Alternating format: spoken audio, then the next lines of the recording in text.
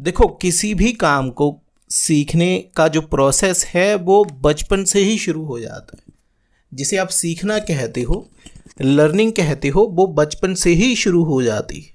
जैसे ही एक मनुष्य जन्म लेता है, तभी उसके सीखने की घटना जो होती है, वो जन्म से ही शुरू हो जाती है। जैसे जैसे वो बड़ा होता है, पहले वो बैठना सीखता है, फिर धीरे धीरे वो चलना सीखता है, फिर वो बोलना सीखता है। चाहे वो कोई भी इंसान हो, और उसे कौन सिखाता है? बाहरी लोग सिखाते हैं, बाहरी वातावरण सिखाता है। देखो, अगर आप स्कूल में पढ़ते हो, कॉलेज में पढ़ते हो तो या फिर आप कोई काम सीख रहे हो, किसी बिज़नेस को सीख रहे हो, सीखने का मनोविज्ञान क्या होता है?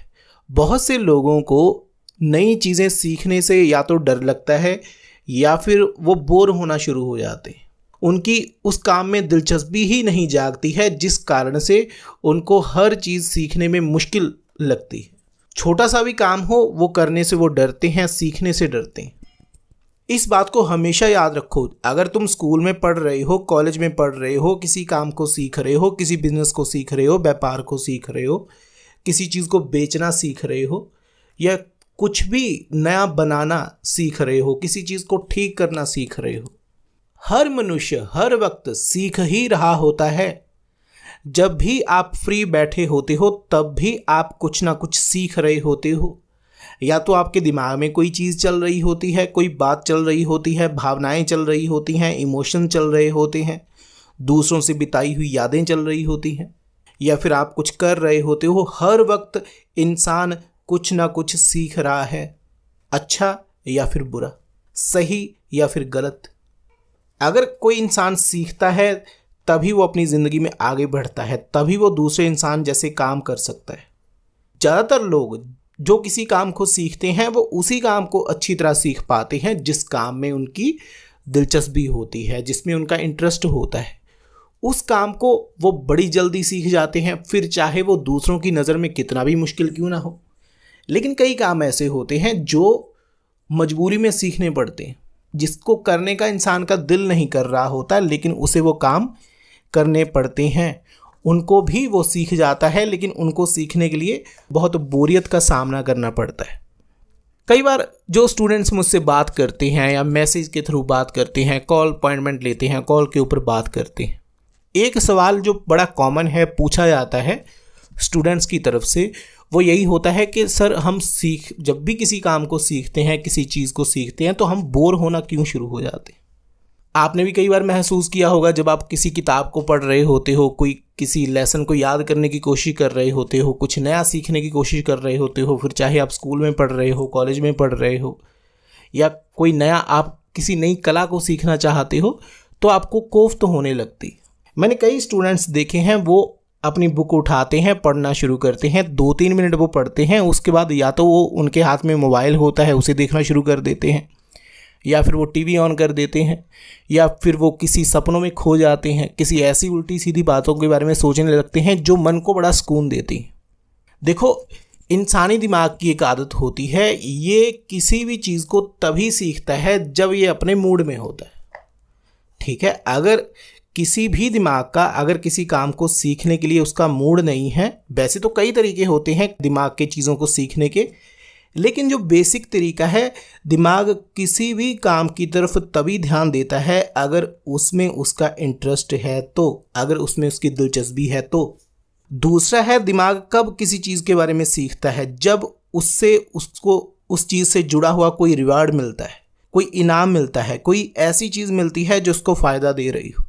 जो उसकी ज़िंदगी को और आसान बनाए, जो उसके सर्वाइवल को और आसान बनाए, जो उसे और अच्छे सपने देखना सिखा पाए, उन्हीं चीज़ों को इंसान सीखने की कोशिश करता है। दिमाग को भी बेवकूफ़ बनाना पड़ता है। अगर किसी इंसान के दिमाग से काम लेना है तो उसके साथ आपको चलाकी खेलनी पड़ती है, तभी तुम अपने दिमाग से, दूसरों के दिमाग से काम ले सकते हो। इंसानी दिमाग के अंदर बहुत सी आदतें होती हैं, बिना लालच के ये कुछ भी नहीं सीखता है। या फिर अगर कोई चीज़ इंटरेस्टिंग ना हो, आपकी दिलचस्पी से ना जुड़ी हुई हो तो आप जितनी मर्ज़ी कोशिश कर लो, कोई आपको जितने मर्ज़ी लेक्चर दे, जितनी मर्ज़ी अच्छी अच्छी कहानियाँ सुनाए अच्छी अच्छी बातें बताए, पढ़ने लिखने के फ़ायदे बताए, किसी काम को सीखने का क्या फ़ायदा होता है, तुम्हें क्या कुछ मिलेगा, कोई असर नहीं होता है। दिमाग के ऊपर ज़्यादातर मोटिवेशन का असर किसी भी तरह की मोटिवेशन का असर बहुत थोड़े टाइम तक रहता है। और जानते हो क्यों दिमाग के ऊपर मोटिवेशन का असर बड़े थोड़े टाइम तक क्यों रहता है? वो मैं तुम्हें आगे बताऊँगा। जब भी तुम कुछ सीख रहे होते हो, हमेशा याद रखना, सीखते वक्त दिमाग के अंदर अपने आप वो वाले हिस्से एक्टिवेट हो जाते हैं जो किसी भी काम को सीखते वक्त उस मेमोरी को, उस नई यादाश्त को अपने अंदर संजोने के लिए बने होते हैं। लेकिन मान लो एक चीज़ तुम नई नई सीख रहे हो, वो अभी तुम्हारे दिमाग में सिर्फ़ वन परसेंट है, एक परसेंट जा रही है। और बाकी ninety percent ninety nine percent वो इन्फॉर्मेशन है जो दिमाग में पहले से चल रही है। सोचो कौन सी इन्फॉर्मेशन जीतेगी? वही ना जो नाइन्टी नाइन परसेंट है। ये बात तुम्हें ऐसे समझ में नहीं आएगी। मान लो एक बहुत बड़ा ऑफ़िस है, वहाँ पर कई हज़ार लोग नौकरी करते हैं जॉब करते हैं, वो अपना अपना काम कर रहे हैं। उन्होंने एक दूसरे के साथ बैलेंस बनाया हुआ है। सब एक दूसरे को जानते हैं अच्छी तरह और अपने व्यापार को, अपने काम को बड़े अच्छे तरीके से कर रहे हैं। अपने कॉम्पिटिटर से उन्होंने समझौता कर लिया है। कोई उनका ज़्यादा बड़ा कॉम्पिटिटर नहीं है। सब एक दूसरे के साथ मिलजुल कर काम कर रहे हैं। अब मान लो उसी कंपनी में, उसी ग्रुप में एक नया बंदा आ गया है। उसी ग्रुप में एक नया इंसान आ गया है, नया बंदा आ गया है जो अब उन्हीं के साथ काम करने वाला है। तो बाकी 99 परसेंट में से 80 परसेंट लोग कौन से होते हैं जो उसके पक्ष में नहीं होते, जो उसको अपने सामने बर्दाश्त नहीं कर पा रहे होते, जो सोच रहे होते हैं कि ये ये जो नया आ गया है, इसे कैसे परेशान किया जाए, इसे कैसे यहाँ से बाहर निकाला जाए। एक पहले कंपटीशन की कमी थी क्या? जो ये एक और आ गया है। हम इसे कैसे झेलेंगे? पहले से दोस्ती करनी पड़ेगी। पहले से यान पहचान बढ़ानी पड़ेगी। पहले से कोई रिश्ता निकालना पड़ेगा। फिर कहीं जाकर ये हमारी जान पहचान का बनेगा और इसमें बहुत टाइम लगेगा तो दिमाग क्या करता है? शॉर्टकट मारता है। वो उसको इग्नोर करना शुरू कर देता है। दिमाग कई तरह की भावनाएँ, कई तरह के इमोशंस रिलीज़ करना शुरू कर देता है। फिर चाहे वो एक पूरी भीड़ का दिमाग हो, चाहे एक दिमाग हो। समझ रहे हो मैं क्या कहना चाहता हूँ? तो उस एक बंदे का सभी मिलकर विरोध करेंगे सबकॉन्शियसली। चेहरे पर तुम्हें नहीं दिखाएँगे।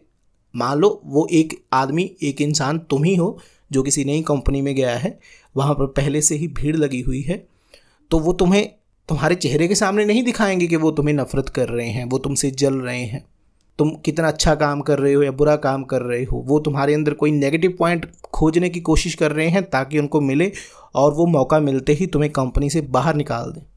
वैसे ही इंसानी दिमाग के साथ होता है। जब आप किताब के सामने बैठते हो, कंप्यूटर के सामने बैठते हो, कैमरा के सामने बैठते हो, अपनी कोई पेंटिंग बनाने के लिए बैठते हो, किसी मशीन के सामने बैठते हो, कुछ भी, जो भी तुम नया कर रहे हो तुम्हारे दिमाग में जो पहले 99 परसेंट थाट्स चल रहे हैं, विचार चल रहे हैं, वो आने वाले इस नए विचार का विरोध करते हैं। तुम्हारा दिमाग तुम्हारे शरीर को मैसेज देता है कि ये एक नई चीज़ आ गई है, अब इसके साथ हमें एडजस्ट करना पड़ेगा। और दिमाग जो मैसेज शरीर को भेजता है, वैसा ही शरीर हो जाता है। अगर दिमाग में से निकलने वाले किसी नई चीज़ को निकलने वाला थॉट पहला ये नेगेटिव है कि इस काम को सीखने में कोई मज़ा नहीं है। ये काम बड़ा मुश्किल है। मैं तो नहीं सीख पाऊँगा। या फिर मैं कैसे इस काम को कर लूँगा, तभी वो अपने अंदर से ऐसे ऐसे हार्मोन रिलीज़ करता है कि तुम्हारी बॉडी लैंग्वेज, तुम्हारे शरीर का एक एक हिस्सा, तुम्हारे शरीर की पूरी की पूरी जो प्रक्रिया होती है, वो वैसे ही चलना शुरू कर देती है और तुम्हें लगता है, तुम्हारा दिमाग तुम्हें मैसेज देता है कि इस काम को सीखने का, इस काम को करने का कोई फ़ायदा नहीं होगा। जो लोग स्कूलों में अच्छी पढ़ाई नहीं कर पाते हैं, कॉलेजेस में अच्छी पढ़ाई नहीं कर पाते हैं, वो बड़े होकर धर्मगुरु बन जाते हैं, विद्रोही बन जाते हैं। वो कहते हैं कि पढ़ाई जैसी कोई बुरी चीज़ नहीं होती है, तुम्हें नहीं पढ़ना चाहिए। अगर किसी को जो इंसान जो काम खुद नहीं कर पाया है, तुम देखना बड़ा होकर वो उसी काम में बुराइयाँ करनी शुरू कर देता है। या फिर जब वो सीख रहा होता है, तभी वो बुराई करना शुरू कर देता है। आपको लग रहा है कि वो इंसान ऐसा कर रहा है? नहीं, हर दिमाग ऐसे ही करता है। जिस काम में उसकी दिलचस्पी नहीं है, पहले वो उसे देखेगा, परखेगा, थोड़ा टाइम सीखने की कोशिश करेगा। जब उसे पता चलेगा कि वो सीखने की कोशिश तो कर रहा है, लेकिन नहीं सीख पा रहा, तभी क्या करता है? उसका विरोध करना शुरू कर देता है। देखो, धर्मों में बहुत सारी हमें अच्छी बातें सिखाई जाती हैं, जिनमें से सबसे अच्छी बात जानते हो क्या सिखाई जाती है? काम, क्रोध लोभ, मोह, अहंकार, इन सभी भावनाओं के ऊपर ध्यान रखो, इनको कंट्रोल में रखो, इनको वश में रखो, लेकिन क्या सच में कोई इन भावनाओं को कंट्रोल में रख सकता है? वश में रख सकता है? नहीं ना, क्योंकि भावनाएँ लगातार पैदा हो रही हैं, शरीर में से, दिमाग में से। हैं तो भावनाएँ बेसिक भावनाएँ, पाँच भावनाएँ, जितने की खोज धर्म ने की है, उससे आगे वो नहीं खोज पाया। तो वहीं पर उसकी खोज रुक गई है। लेकिन भावनाएँ सिर्फ़ पाँच थोड़ी होती हैं। इच्छाएँ सिर्फ़ पाँच थोड़ी होती हैं। इच्छाएँ तो बहुत सारी होती हैं। लेकिन जैसे ही तुम्हें बाहर से कोई इच्छा डालने के लिए कहा जाता है किसी और की तरफ़ से कि ये सीखो, ये अच्छी चीज़ है, इसे अपनाओ, इसे सीख कर अपने दिमाग में डालो, इसे अपनी यादाश्त का हिस्सा बनाओ, वित्त स्मृति का हिस्सा बनाओ। ये तुम्हारे सबकॉन्शियस का एक हिस्सा बनना चाहिए। तभी दिमाग विरोध करता है, क्योंकि दिमाग ऑर्डर नहीं मानना चाहता ऑर्डर को फॉलो नहीं करना चाहता। किसी भी इंसान का दिमाग अगर किसी ऑर्डर को फॉलो करता है तो उसके कारण होते या तो वो किसी डर के कारण उस चीज़ को फॉलो करेगा, या किसी लालच के कारण फॉलो करेगा, या उसे, उससे कोई खुशी मिल रही होगी, तब वो फॉलो करेगा।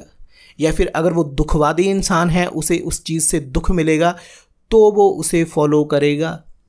बिना कारण के, बिना मतलब के अगर दिमाग को किसी विचार से कुछ नहीं मिल रहा है, चाहे वो कोई भी इमोशन हो, दर्द, खुशी, गुस्सा, उदासी, बेचैनी, थकावट, चिड़चिड़ापन, झुंझुनाहट, कुछ भी, अगर उसे कुछ नहीं मिल रहा है नेगेटिव पॉजिटिव तो वो उस विचार को कभी नहीं अपनाएगा। तुमने कभी गौर किया है, जब तुम किसी चीज़ को सीखने की कोशिश कर रहे होते हो, और जब तुम उसे नहीं सीख पाते तो उसे तुम इग्नोर करना शुरू कर देते हो। उसमें से बुराइयाँ निकालनी शुरू कर देते हो। लेकिन शायद तुमने नहीं नोटिस किया, वो जो चीज़ है, जो तुम सीखने वाले थे, वो जो काम है, वो अब तुम्हारे दिमाग में नेगेटिव फॉर्म में जमा हो गया है। दिमाग के नेगेटिव हिस्से में चला गया है।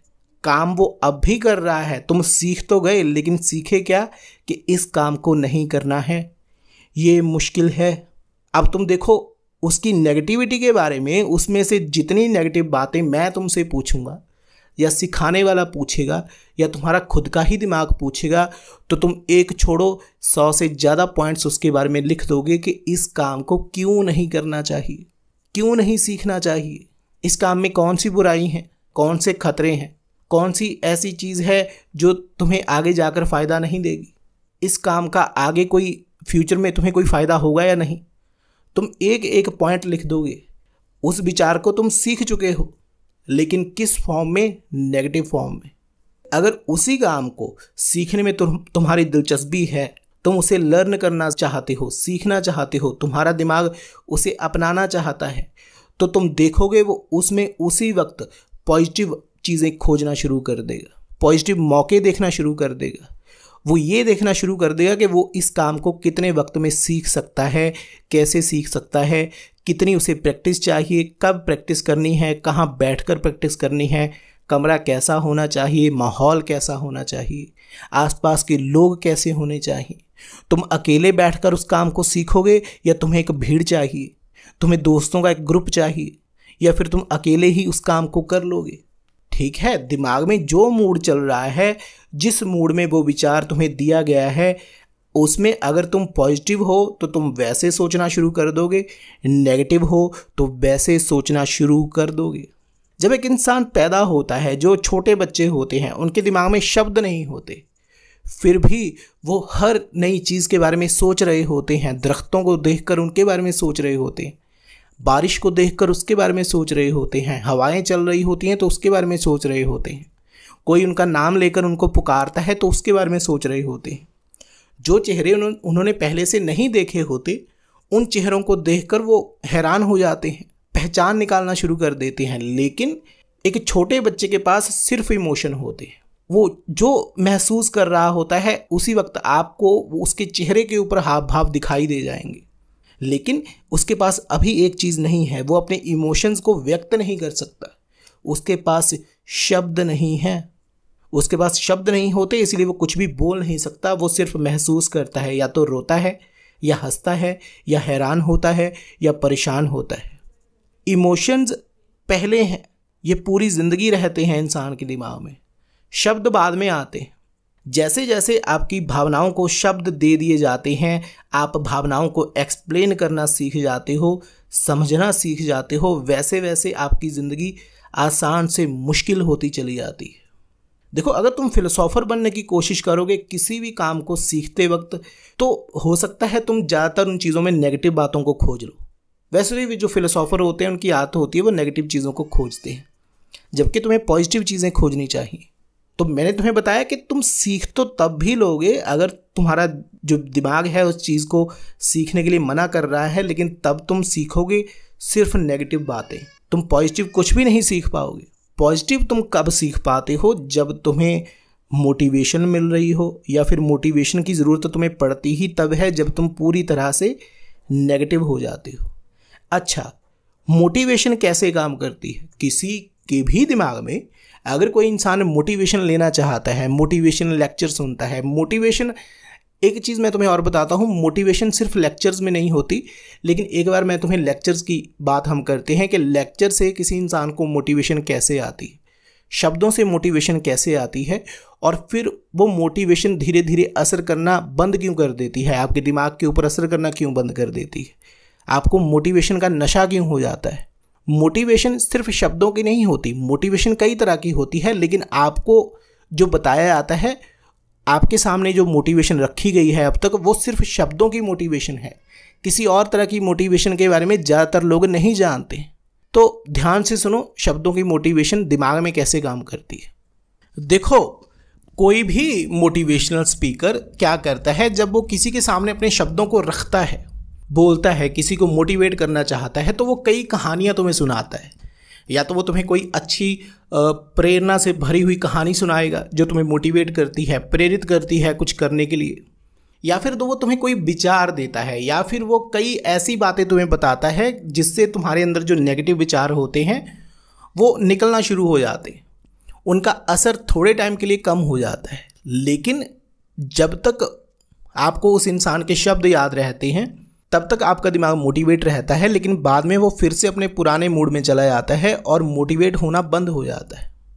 शब्दों की जो मोटिवेशन होती है, कहानियों की मोटिवेशन होती है, वो ज़्यादा टाइम तक असर नहीं कर पाती है, क्योंकि शब्द दिमाग के ऊपर ज़्यादा टाइम तक असर नहीं कर पाते। दिमाग के ऊपर शब्द भी वही असर करेंगे, जैसा इंसान खुद है, जैसा उसका मूड है। अगर कोई इंसान नेगेटिव है तो उसके ऊपर नेगेटिव शब्द जल्दी असर करते हैं। नेगेटिव बातें जल्दी असर करती हैं। नकारात्मक बातें जल्दी असर करती हैं, नकारात्मक विचार जल्दी असर करते हैं। और अगर कोई इंसान पॉजिटिव है तो उसके ऊपर पॉजिटिव विचार जल्दी असर करते हैं। अगर कोई खुश रहने वाला है तो उसके ऊपर खुश रहने वाले विचार जल्दी असर करते हैं। एक दुखी इंसान के लिए खुश करने वाली बातें मेडिसन जैसी होती हैं, दवाई जैसी होती है। जैसे ही वो ठीक हो जाता है, फिर से वो अपनी पुरानी आदतों में चला जाता है। और एक खुश रहने वाले इंसान के लिए जो नेगेटिव बातें होती हैं, उदासी से भरी हुई बातें होती हैं, वो उसके दिमाग में एक अलग तरीके से काम करती हैं। हो सकता है वो तुमसे भी ज़्यादा इमोशनल हो जाए, उनको सुनता सुनता लेकिन फिर से वो अपने पुराने मूड में आ जाएगा, वैसे ही खुश रहना शुरू हो जाएगा, वैसे ही हंसना खेलना शुरू कर देगा। अगर तुम किसी चीज़ को सीख रहे हो, किसी काम को सीख रहे हो तो मोटिवेशन बाहर से लेने की कोशिश मत करो और ना ही ये सोचो कि तुम्हारे अंदर से मोटिवेशन पैदा होगी। इंसान के सबकॉन्शियस को समझो। तुम्हारे दिमाग में जो विचार ज़्यादा हैं, वही विचार काम कर रहे होते हैं और जब तुम अपने दिमाग को कोई नया विचार देना चाहते हो, देखो नए विचार की क्या निशानी होती है।